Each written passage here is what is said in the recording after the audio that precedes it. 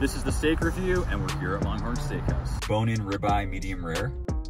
The first thing I noticed was a well-defined cap muscle and a beautiful looking crust. Slicing into it, perfect medium rare, virtually no gray band. This is cooked almost perfectly. Let's go for a bite really good. Excellent char to it. Cap is super tender, maybe slightly under seasoned, but overall, this is a great value steak. And of course, the mac and cheese. Creamy and filled with bacon, I was very impressed. With that, a final score of 79 out of 100.